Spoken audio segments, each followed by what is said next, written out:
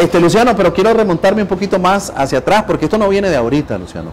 Yo recuerdo que vos, desde la alcaldía de Managua como concejal, fuiste uno de los críticos más contundentes, eh, que siempre sacó a luz todos los actos de corrupción que se estaban cometiendo de parte de este gobierno que está actualmente. Y nunca te detuviste, no tuviste miedo, eh, te paraste ahí. Yo, yo, recuerdo mis coberturas periodísticas verte que te levantabas de tu asiento y empezabas a denunciar. Y uno de los denunciados en esto se llama Fidel Moreno. Me gustaría que recordaras un poco a, nuestra, a nuestros seguidores este, desde dónde viene y por qué razón viene todo este problema. ¿Cuál es la raíz de esto? Mira, desde, desde enero del 2009 que yo asumo la, la, concejalía, eh, yo me propuse un, un, eh, eh, un concejal opositor para denunciar todas las fechorías que se estaban cometiendo, porque esa alcaldía fue robada. Eduardo Montealegre ganó y le ganó a Alexis Arguello. Nosotros demostramos con actas en mano la corrupción y el fraude electoral, que por cierto en ese momento avalado por la OEA, lo cual siempre dijimos de que la OEA le había hecho un daño al, al pueblo de Nicaragua, porque en ese entonces ellos eh, participaron de, ese, de, ese fraude electoral. Sin embargo... ¿De qué manera participaron ellos de ese fraude electoral? Bueno, ellos nunca dijeron que, hubo fraude. Y entonces, fueron cómplices. Fueron cómplices. Más bien ellos avalaron esa elección y la, la, la, generaron. y la reconocieron. Y la reconocieron, ¿no? Ok, entonces volviendo. Eh, entonces nosotros iniciamos una estrategia de, de denuncia al régimen y en ese momento Fidel Moreno se convierte en el eh, secretario general de, la alcaldía y el operador político número uno del Frente Sandinista en Managua. Inclusive, te recuerdo que aquel famoso operador, secretario político de Managua, Cuaresma, es destituido por Rosario Murillo y ponen al frente a, Fidel Moreno. Fidel Moreno es el que se encarga inicialmente de organizar las turbas para apedrearnos, para tirarnos eh, mortero, eh, piedra, inclusive eh, que fue terrible durante esos meses. ¿De qué años estamos hablando? 2009. 2009. Ahí es donde se comienza a lucir. Y comienza a generarle a, en ese entonces a Alexia Argüello un problema. Porque Alexis Argüello, si bien lo montan de manera ingenua a dirigir una alcaldía, producto de un fraude, Alexis Argüello no mandaba. Y el que descubre que no manda soy yo. Cuando a mí me llegan los documentos donde le arrebatan a Alexis Argüello todos los poderes. Fidel Moreno era el operador político y el, y el representante legal de la alcaldía de Managua, lo cual eso era ilegal. con poderes plenipotenciarios, era, poder, o sea, poderoso. y encima de eso, yo aquí lo digo públicamente porque no es ningún secreto, quien es responsable de la muerte de Alexis Arguello se llama Fidel Moreno. Yo no sé si apretó un gatillo, no te puedo decir a ciencia cierta qué es lo que pasó, pero quien desencadena la muerte de Alexis Argüello es Fidel Moreno. Fidel Moreno le monta el andamiaje a Alexis Argüello para dejarlo en ridículo ante, ante el mundo como, como un florero. Y eso lo descubro yo en julio, en, a finales de junio del 2009, cuando llegan a nuestras manos todos los cambios eh, que estaban haciendo en la, en la, en la alcaldía de Managua, eh, que incluía solo dejar a Alexis Argüello, siendo el alcalde para ellos, como el director de deporte y teniendo el poder político y administrativo, Fidel Moreno. Quiero retomar lo que dijiste, tu afirmación. ¿Por qué Fidel Moreno es el responsable de la muerte de Alexis Argüello? Porque Alexis reclama su derecho a Fidel Moreno. Y si Alexis Argüello toma la decisión del suicidio es porque eh, eh, lo que le generó todo lo que le hizo Fidel Moreno, ¿ya? fue la muerte de Alexis Argüello. Porque el tema de la muerte de Alexis Argüello sigue siendo un debate, no se sabe si lo mataron, no se sabe si se suicidó, pero en el hipotético caso que se haya suicidado, eh, lo que me estás diciendo es que Alexis Argüello pasó por un proceso de depresión eh, muy profunda que lo pudo haber llevado a ese desenlace. Indudablemente, tengo la certeza de que eh, el nivel de depresión de Alexis Argüello, y, y se lo pueden preguntar a, su apoderado, el doctor eh, que, que pasó, yo tuve la oportunidad de hablar con él, y la gran depresión que le causó, la traición que le jugó Fidel Moreno, porque Alexis Argüello hay que reconocerle algo, es un hombre muy ingenuo, de un gran corazón. Era un hombre noble. Noble, noble. Y yo, eh, a pesar de que yo lo fustigaba mucho en los consejos municipales, Alexis Argüello era un caballero Siempre que entraba Alexis Argüello al Consejo Municipal me iba a saludar. No solo me daba la mano. No solo fue un caballero en el ring, porque así le llamaban. Es correcto, fue un caballero en la política. En su forma de vida también. En su forma de vida. Entonces, a ver, eh, sigamos con este caso. Resulta que vino la figura de Fidel Moreno, llegó, tomó posesión ahí y prácticamente anuló de todas funciones públicas a este, Alexis Argüello. Yo como periodista recuerdo perfectamente eso. Y no solamente lo anuló, Alexis tenía proyectos interesantes para la comuna capitalina que se los negaba eh, Fidel Moreno. Inclusive es público de que las diferencias cada día se acrecentaban entre Fidel Moreno y Alexis Argüello.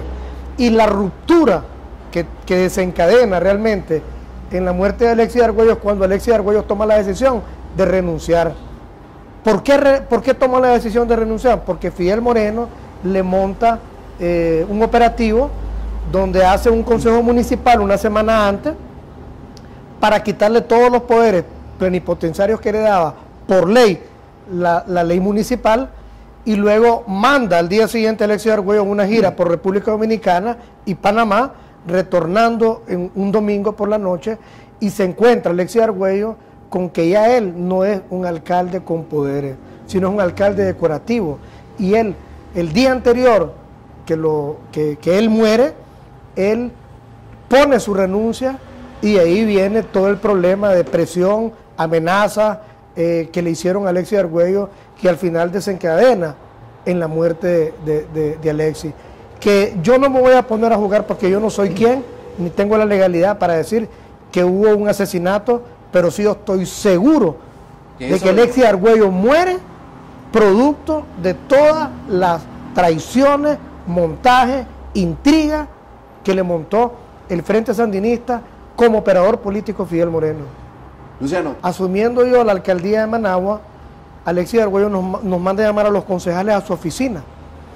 Y en ese momento nos dice que nos va a dar una camioneta. La alcaldía de Managua había hecho la mala costumbre de darle un vehículo a los concejales fuera de la ley. Y entonces Alexis nos propuso exactamente lo mismo. Y yo le dije en ese momento, Alexis, eso es ilegal. Y él, él en su ingenuidad no sabía. Y entonces le dice, no, aquí Fidel va a explicar por qué no es ilegal. Y entonces Fidel trata de enredar. Y ahí es donde yo veo la ingenuidad de Alexis Argüello y donde, donde él cree que lo que está haciendo es legal. La manipulación a la ley y a la ilegalidad la, la, lideraba Fidel Moreno. Entonces, Alexis Argüello no, no, no creía que le pudieran jugar semejante eh, traición. Naturalmente que eso venía de arriba. Inclusive, te voy a decir algo que nunca lo he dicho. El día que nosotros estamos en la vela de Alexis Argüello, yo estoy sentado a la par del doctor Román. El doctor Román, que fue la persona que más cerca estuvo de Alexis Argüello, me confirma de que realmente el que más daño le hizo a Alexis Argüello se llama Fidel Moreno. Y daño porque realmente las confrontaciones que, tenía con él eran abismales y, él me dice de que realmente eh, el propósito de Fidel era, era, era, una operación política y no trabajar en pro de la comuna de, Managua. Y naturalmente era una orientación que venía de arriba. Indudablemente la orientación venía de, Doña Rosario. Ok, retomando algunos, algunas anécdotas.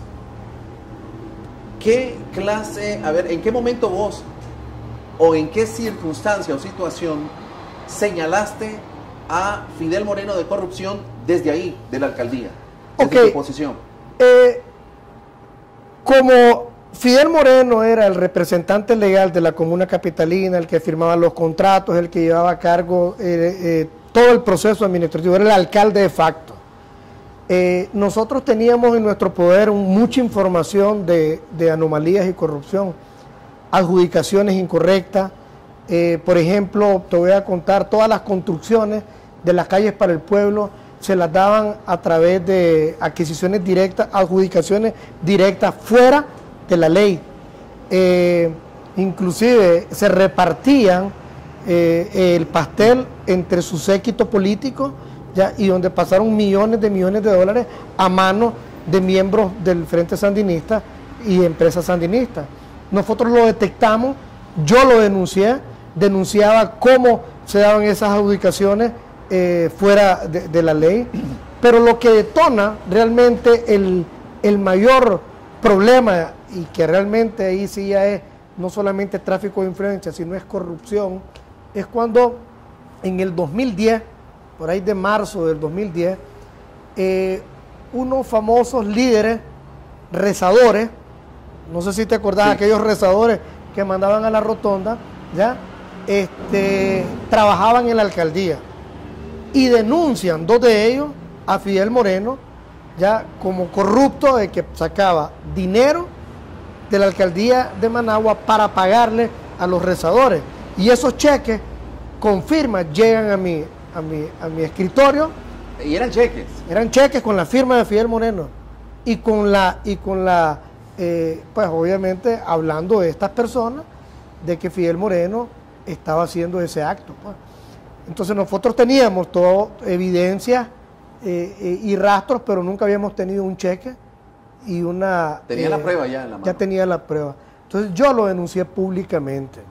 Nosotros denunciamos públicamente y lo peor del caso es que esos cheques pasaron por un filtro de error, porque la policía hace un peritaje y, y el peritaje dicta de que la firma es auténtica de Fidel Moreno, porque Fidel había dicho en un momento dado que le habían falsificado la firma. Pero evidentemente la policía jamás lo acusó. No, eh, parece que ahí un, quién sabe qué pasó. Con una simple llamada se arregló ese, y se arregló. tema. Pero este, Luciano, quiero avanzar un poco. ¿Creemos que detrás de todas estas acusaciones tuyas, en tu contra, está Fidel Moreno? Yo creo que él eh, tiene algo personal contra mí. Definitivamente él siempre eh, fue un, operador eh, político en mi contra fuerte, me mandó turbas a mi casa, me, acusó de robar agua, me hizo montajes en la alcaldía, me, mandó a gente a, que me amenazaran de muerte.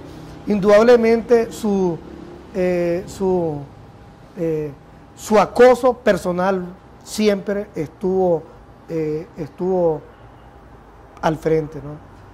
Recuerdo que una vez yo le pedí una cita porque el asedio y el acecho y la presión hacia mi persona era tan grande que yo le pedí una cita. Yo me imagino que él me da la cita creyendo que yo me le vengo a rodear. Y yo lo que llego a decirle es eh, de, que, de, que, de que igual que él me estaba causando daño a mí y que si algo me pasaba a mí, yo no me iba a quedar callado. Y que yo tenía pruebas y tenía grabaciones de que si algo me pasaba a mí, el responsable era él.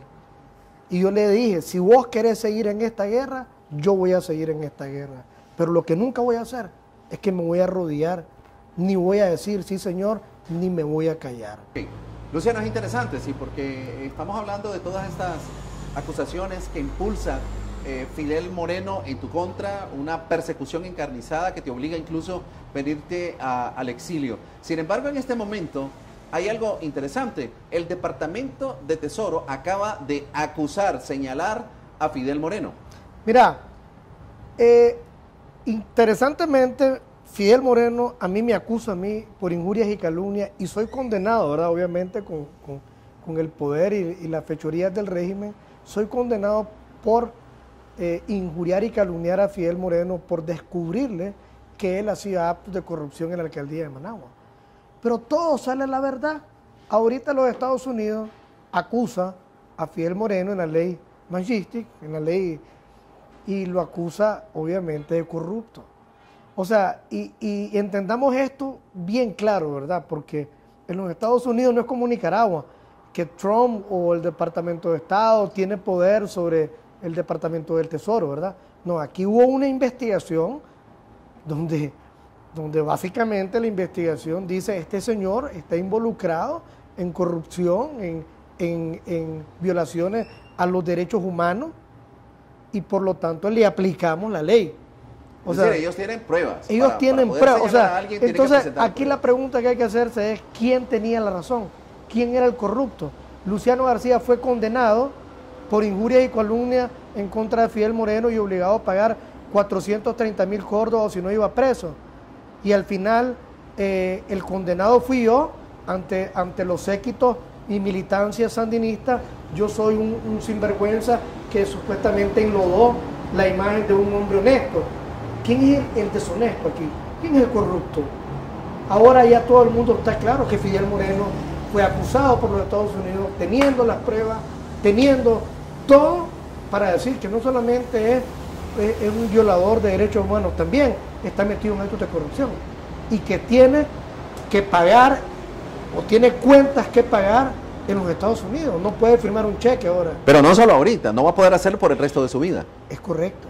Hasta, que, hasta que él pague, obviamente, y, sea enjuiciado y pague una condena para que él pueda volver a, retomar el camino correcto, ¿verdad?